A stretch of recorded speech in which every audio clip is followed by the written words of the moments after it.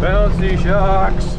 Are you ready to learn the truth about the 2024 Kawasaki Ridge? We're here in West Virginia at the Hatfield McCoy Trails and we are going to drive this thing and we're going to tell you exactly what it is and what it is not. It's not what you've been told it is. Kawasaki has positioned the Ridge as a Yamaha R-Max fighter. The R-Max is a trail rig first and a utility rig second. What the Kawasaki Ridge actually is, is a really capable competitor to the likes of the Can-Am Defender HD10 Limited and the Polaris Ranger XP1000 North Star Edition. Kawi made a huge deal about this thing's enclosed cab, its HVAC system, and its Garmin Tread infotainment system. If you're familiar with the HD10 Defender and with the Ranger XP1000 North Star Edition, you'll know that both of those rigs are as luxurious as they come. And the Ridge is similar in form and function to those machines. But it's got a cool trick up its sleeve. Or maybe I should say, under the bed because the Kawasaki Ridge is powered by an all-new 999cc four-cylinder engine with DNA straight from Kawasaki's sport bike and watercraft industry. That means in the Ridge XR behind me you get 116 horsepower, which is huge for this class. You also get a thousand pound bed capacity and Kawasaki just updated the towing numbers. This thing will tow 2,500 pounds. That puts it squarely in competition with the Ranger and the Defender Limited. We're gonna get this thing out on the trail today and show you exactly what it's like to drive the 2024 Kawi Ridge.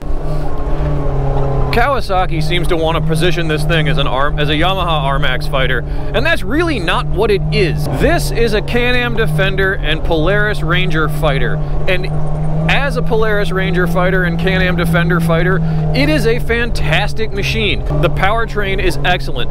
The engine is snappy, it's responsive, it sounds great in here. Both of those other rigs, the engines are parallel twins, and they sound a little harsh. The cabin insulation in the other two rigs isn't quite up to the spec that this cabin insulation is, and so you get a lot of harsh noise. And the engines, you know, as parallel twins, they're not meant for refinement, they're meant for work, and so they don't really sound that good.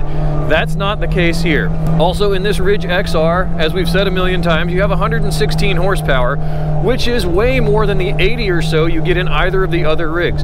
So you have this excellent, super responsive, super fun, super good sounding powertrain, and we like that. Kawasaki has built its reputation in the power sports industry for top whack four cylinder engines, and this is one. They have really done a good job. It pairs really nicely with the CVT. I would rather any rig I drive not have a CVT, but if it's gonna have a CVT, it better be good, and this one is. All three throttle response modes work really well for what they're for. Normal mode is nice, easy, just cruise around mode. Sport mode is responsive, and work mode is really soft, but that's what you want in work mode. It is a true work mode. There are appropriate steps between the throttle response settings. So all of that works really, really well. And again, if you've got to carry a thousand pounds in the bed or tow 2,500 pounds, the Ridge will do that for you just the same way that the Can-Am Defender and the Polaris Ranger will. Where this thing is a huge step up is in the interior. Even in the North Star Ranger and the Defender Limited where you do get roll down windows and HVAC and stereo and all of that jazz, this one being brand new, um, some of the interior materials aren't as premium as Kawasaki would have you believe, but it is very nice in here and the layout is excellent. It's not quite up to Ranger XD 1500 specs, but it doesn't have to be, right? Because that is a three quarter ton utility rig and this rig is going to compete more with the 1000 cc pedestrian, smaller, lighter duty utility rigs. I think that Kawasaki has done this machine a disservice by putting it in competition with Rec Ute rigs.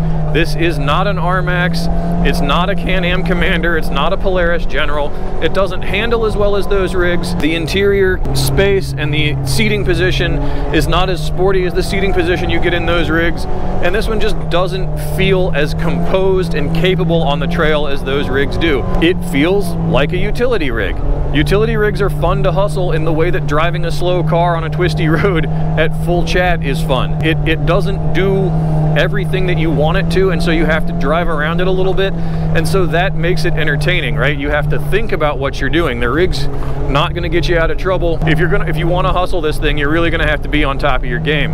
I think it's great fun but again if you're following your buddies up a trail and they're driving r-maxes you're going to be in the back of the line. There's just no two ways about it. Who is the ridge xr for the ridge xr is for casual trail riders and people who need their side-by-side -side to work as hard as it plays and probably a little bit harder. This would be a great rig to have if you had a 100 acre woodlot, if you live on a ranch and you've got a long way to go to check fences or go to the mailbox or move hay bales around, Kawasaki Ridge is your jam. If you want to do some light off-roading and go out into the desert with a bunch of camping gear, uh, Kawasaki sells like 55 accessories for this thing. You can put another $16,000 worth of catalog parts on it, they said. And so you could really outfit this thing as like a pretty capable overlander. Just don't expect it to do sport rig things because that's not what it is despite the fact that it has 30 inch tires and 15 inches of ground clearance and a nearly 120 horsepower four cylinder. It's sprightly, it's fun, it's quick, but a sport machine it ain't. Okay, so we've been out here for a couple of hours ripping around on the Rockhouse Trail system. We've been driving this morning the 2024 Kawasaki Ridge XR. This is the sport model. You get these cool contrasting color A-arms. Uh, you get bucket seats, which move fore and aft. You get a big center console. They designed this engine from the ground up for the side-by-side -side application. It is not a sport bike motor. It's not not from anywhere else in the Kawasaki lineup. They designed it specifically for this rig, but what we want is this engine in a sport chassis. Unfortunately, our biggest knock on this rig is that the suspension is just not quite fit for purpose when you get out and start ripping around. It's really soft. It likes to porpoise into corners a little bit, and you're sat like a church pew. It has a traditional sort of utility side-by-side -side seating arrangement where you're very upright, and even though that's a bucket seat that's adjustable, you still feel like you're sitting on top of the machine rather than in it. That's great for sight lines, but it's not great great for confidence when you come into a corner and you feel like your face is leading to the apex rather than the machine. You also get a ton of body roll and it's just not very composed over whoops. And so with that in mind, what you've got is a really good utility machine. If you get the HVAC model, all of that works super well. It's very comfortable in the cab. It's very quiet in the cab, we've noticed, even though it's got this raucous four-cylinder engine, they've really struck a nice balance between noise levels in the cabin and sounding cool. All the switches, the ergos are laid out really nicely. The TFT dash is beautiful. Most of the touch points feel like touch points in a side-by-side. -side. It's sort of flimsy, hard plastic, but it's laid out really nicely. It is laid out automotive style, so it looks very good in there. We're gonna drive the Ridge Limited, the more work-oriented one in a little bit. We'll let you know how that goes. This is the Kawasaki Ridge Limited. This is the upmarket, the uh, cowboy Cadillac, if you will. We got a Warn VX45 winch on the front, smaller tires, staggered tires. This has 27s front and rear on the same 14 inch wheels. Wheels are a little stylish. They've got uh, different machining on them, but otherwise it's the same. The paint looks excellent. And then inside, where the XR had sport seats, this thing's got a much more traditional utility style bench seat made out of this really cool kind of tough vinyl, I guess that is. Exciting thing is that this one, unlike the other one, has the Garmin tread, which they're going to show us in a minute, but it's got your battery voltage, your CVT temp, and then uh, pitch and yaw. It's your fuel level in there. It's glove sensitive to touch. You can go to your map, and then all your trail riding buddies are here on the side. Much like Polaris Ride Command, you've got all your buddies there and their nicknames in the GPS right off the hop. So when we get moving, you'll see the uh, icons spread out, and then you've got your trail map here, your route outlined in blue. So you can uh, go back out to the main menu, get your camera. Again, these lovely push buttons on here. I really like the way that that works. So there's my rear camera, there's my front camera. Pretty wide angle. It looks like that Sprinter van is about, I don't know, five miles away and it's like right in front of us. All right. See, I'm definitely noticing the seating position in this feels slightly different, even a little bit more upright than the other one. We're in work mode. Uh, we'll, let's see.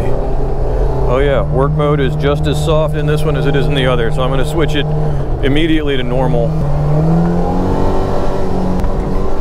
Work mode really is for like putting it on a trailer or some really, really slow speed stuff. I think they send a letter via Pony Express when you want power in work mode. All right, there we go. There's sport mode. Really, uh, sport mode is pretty much good for anything.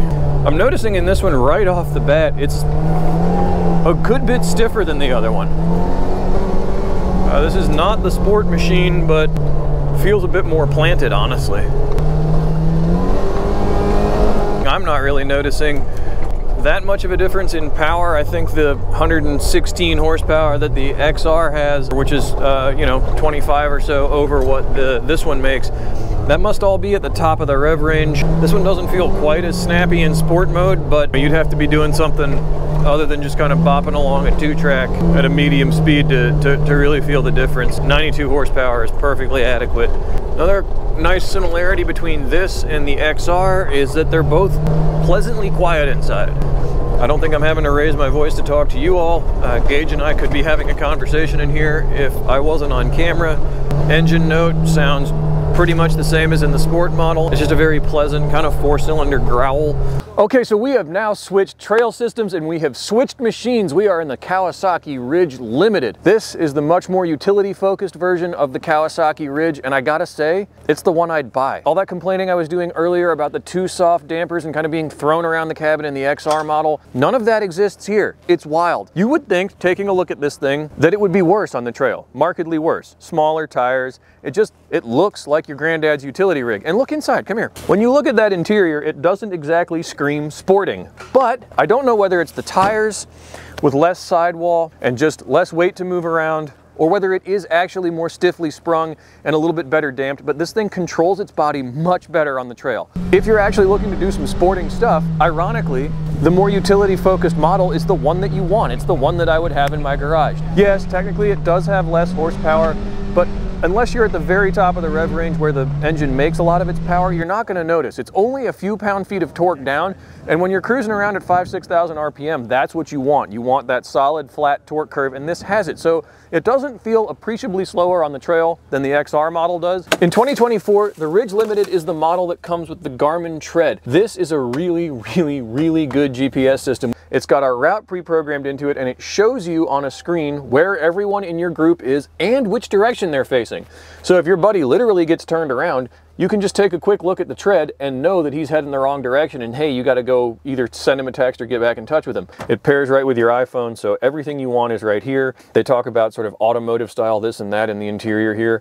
This is almost as good as Apple CarPlay. It's a really good system. It'll be great when this comes out for 2025 in the XR. Yeah, and inside, you know, there's seating for three. They make a big deal about the XR having sport seats, but these bench seats are really pretty good. I mean, you've got this nice little ridge between your thighs that kind of holds you in place. I wish there was a console of some kind.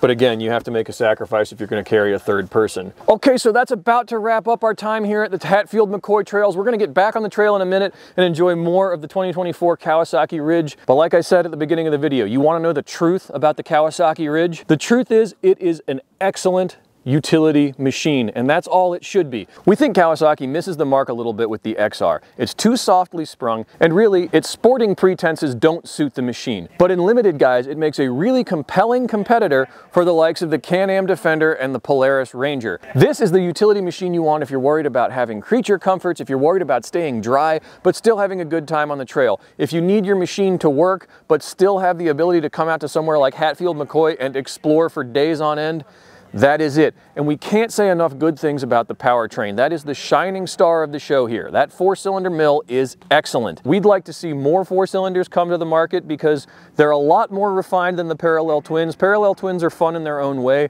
but this machine has power everywhere you want it. It's smooth, it's quiet, it does sound good. Uh, man, if you put a pipe on this thing, it would be an absolute riot. Thanks so much for joining us. Let us know in the comments below which one of these machines you'd have.